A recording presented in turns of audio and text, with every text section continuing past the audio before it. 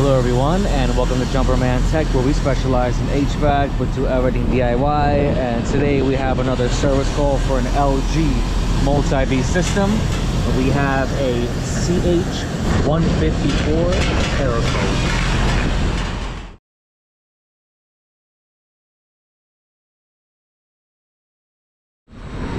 Thank you to everyone tuning into Jumperman Tech. It is a nice freezing day out here in New York City. It's 20 degrees out. Just want to give you guys an idea of how we get up here because we have so many calls up here. We go through the door down there and we walk around all these steps. So imagine bringing all your equipment up here every time we do service calls or change a compressor. Anyways, we got a bunch of units up here, not just the one down this hallway. Got a lot of units. We got the LG Multi V3s here, and we got the LG Multi V4s here. Here's the unit that is our troublemaker here. error code CH154. We need to see what that is, but man, is it cold out here. Uh, it's a beautiful, dirty city. Good money to make here, but in the winter time, it is not fun out here. 20 degrees out to be working out in this with these difficult machines. Man it ain't too fun but it is what it is and it ain't what it ain't. But i'm gonna be in florida in two weeks and i can't wait. Oh man let's see what, what 154 means. All right so i'm using the lg hvac service dash business app.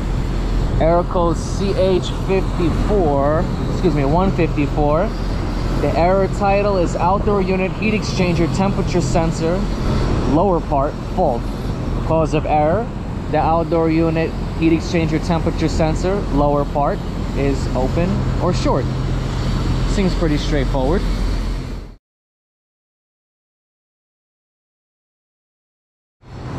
There's a little chart here. I'm gonna try to get this information for you guys. So it says, is the sensor connection at to the PCB normal? So pretty much you wanna make sure that it's connected properly to the board. These sensors would be connected to your external board. It's called the external board. I'll show you guys that in the video. Then it says here, if it is connected properly, you know, you move on. If it's not, obviously connected. The next step would be to check the resistance of the sensor. If it's bad, change the sensor. All right. Next is saying, is the sensor resistance the same as the temperature on the LG MV tool? So I guess the LG MV tool reads resistance. I guess we can check if that matches up with our resistance reading. So it's either the board or the sensor here. Pretty straightforward. You can't screenshot anything on this app. But I would do is I'm gonna try to take a picture with a different phone and send you all this information that's there. So we're gonna check resistance of these sensors. We're gonna check the voltage coming off the board. We're gonna check to see if the connection's all right. We're gonna see whatever we can out here. Let's open up this uh, main cover and see what we got.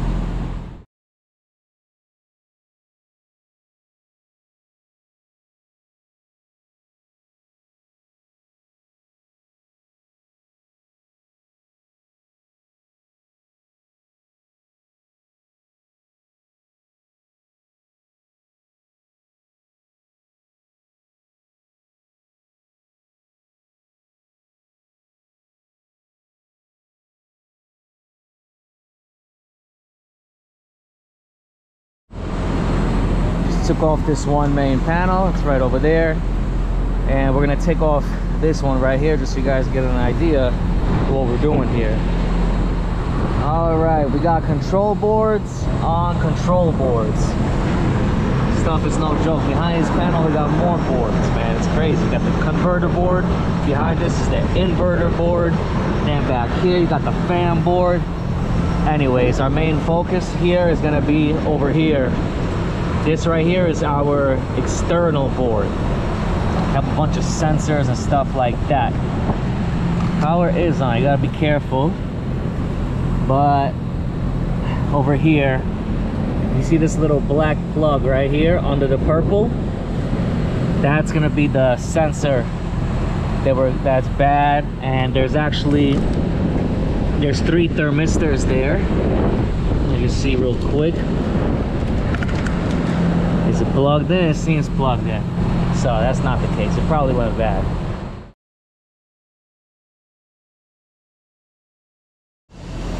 All right, so I'm looking right here.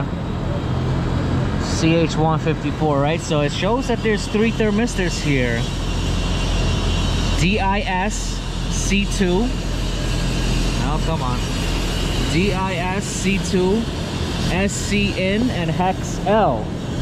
Just like the one to the left here, you know, has the SUC, Hex, and this C1, like the purple one that's three thermistors.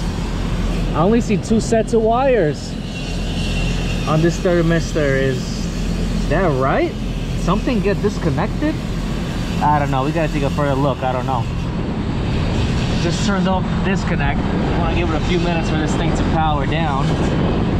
Let's see. Can I get my needle nose in there? Right there. That's it. So here you guys can see, I'll, I'll try to take a picture, but there's two sets of two wires. And you know what's weird is like to the left of it, it shows dish DIS C2, SCN, and then hex 1. That that to me is telling me there's three thermistors there.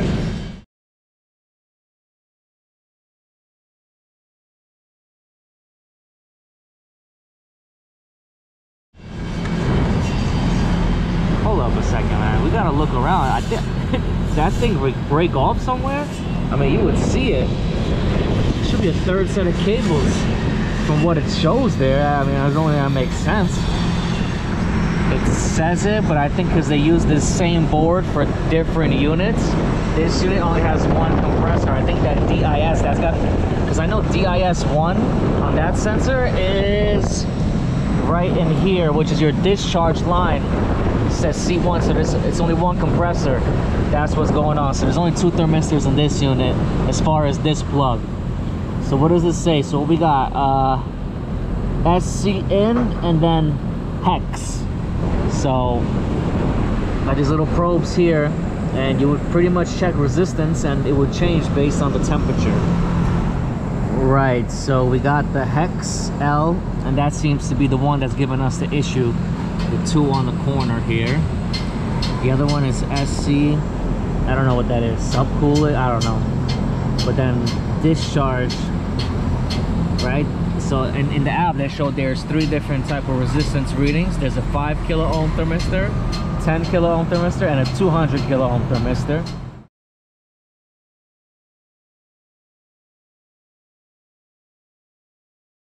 Kind of got to see what it is there's a pipe thermistor chart which i'm assuming is for this. That's bad. Then there's a d pipe i'm assuming that's discharge and the other one it will be air. I don't know that's the charge they give us. Let's let's check resistance readings and see what we got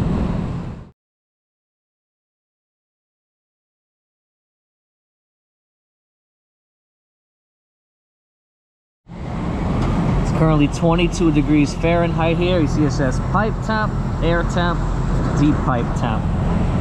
I think it's to be the pipe temp. It's not the discharge. I think that's what D is for. So fortunately this is in Celsius, so mm, uh, 22 degrees Fahrenheit.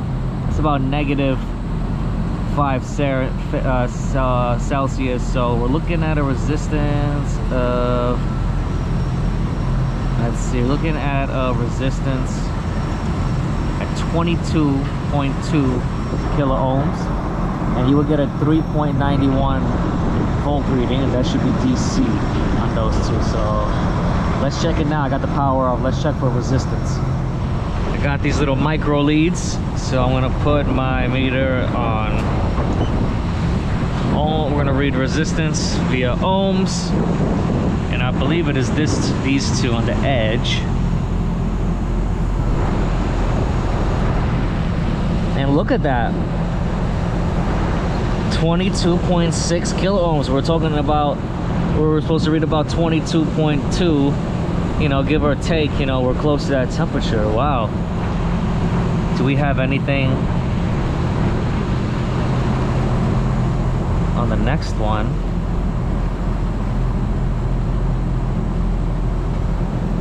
Next one, 22.2 kilo ohms.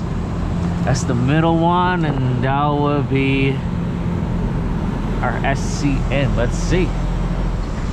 All right, so I just traced down one of the thermistors and the one for the hex. What does it say? HEXL, heat exchanger, lower. I just traced it, it's here. This guy right here. And it says 5K, so it's a 5 kilo ohm thermistor. Okay, so that's that, and we're reading decent thing. Oh, look, went over here, SCN. I think that's the same one. Let's trace that one back. Make sure it goes to this plug. But that says 5K, so if we're reading the same resistance, then these, this sensor is actually good. Oh, look at that. it's a peanut. There's a peanut inside here. Who's eating peanuts and troubleshooting here, man? peanuts, man. What the heck? All right, so I just traced out this wire, and this is the SCN. And it is a 5K thermistor SCN. What does it say here? It just says 5K down, but they're both 5 kilo ohm thermistors, and they're reading the same thing. And that matches up with the chart. These thermistors are good can't really tell but inside here see if I can maybe get a picture but it looks a little bit corroded in here. Maybe it's not reading it.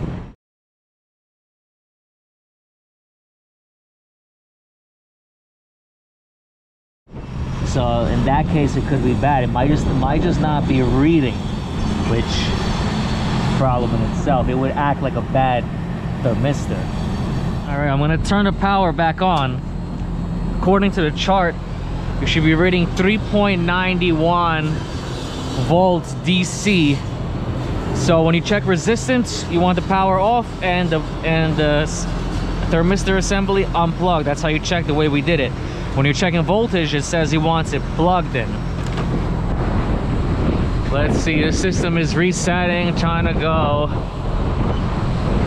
Let's see what kind of voltage we got. Let's see if it's might need a minute to like get itself together but basically those same two wires that we checked uh, those same two wires that we checked voltage uh, resistance we're gonna check it for DC voltage. So the top two let's see. Let's see do we get something? DC zero. What about what about underneath? 3.9 volts DC but goes into that air cooler right away. Doesn't even it notices it. 3.9 volts DC what do we have on the other one?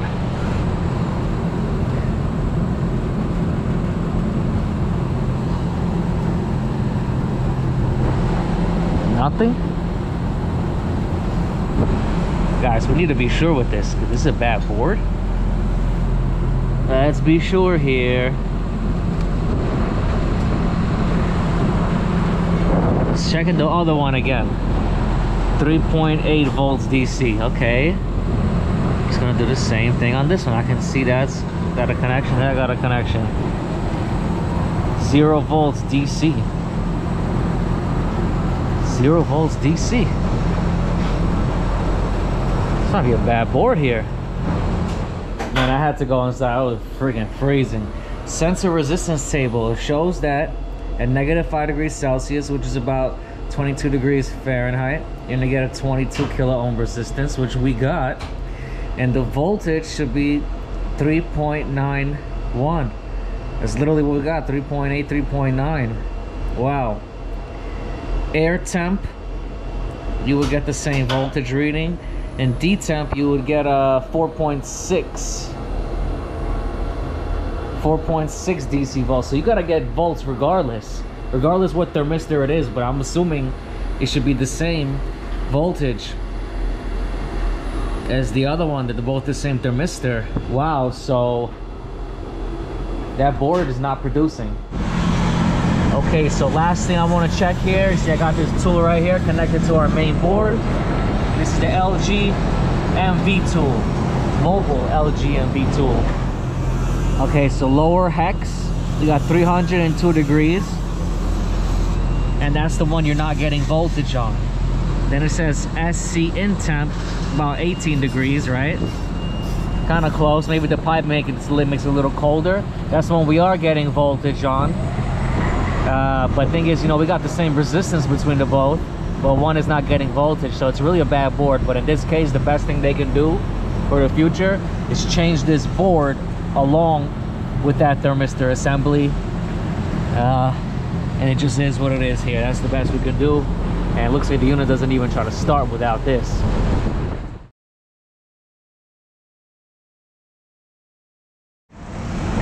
CH154. Sorry, my friend. It is what it is. but eight rooms, eight hotel rooms, no heat. And it is what it is. But this is how you would check this is how you would check this. And we're pretty much gonna wrap this one up here. If anyone found this video interesting or helpful, please drop a like, comment, and subscribe as I come out with new videos every week. And I'll catch you all next time.